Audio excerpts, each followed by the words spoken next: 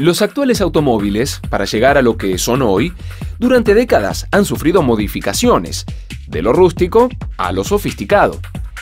Los autos siempre cambian, aunque en su mayoría siempre consisten en un habitáculo con protección, llantas y algún tipo de motor.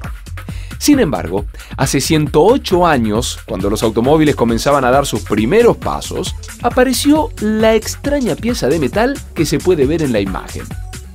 Hoy en día la mayoría de los autos han modificado apenas su concepto. Podríamos decir que fue uno de los primeros sistemas antirrobo y que aún hoy en la actualidad sigue cumpliendo, entre otras, esa función primordial. Era 1908, cuando el modelo T de Henry Ford cambió lo que el mundo entero conocía como automóvil. La cadena de producción y su motor de combustión interna cambiaron la forma en que las empresas obtendrían beneficios de la venta de coches. Justo en ese auto se incluyó por primera vez una pieza de metal. Su función, echar a andar el coche. Se puede decir que esta fue la primera llave de auto en la historia. Extraña, pero con la misma función que la de la mayoría de los coches en la actualidad.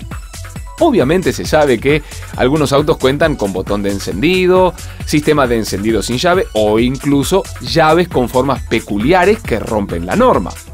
Un elemento que tiene más de 100 años y que aún hoy seguimos utilizando.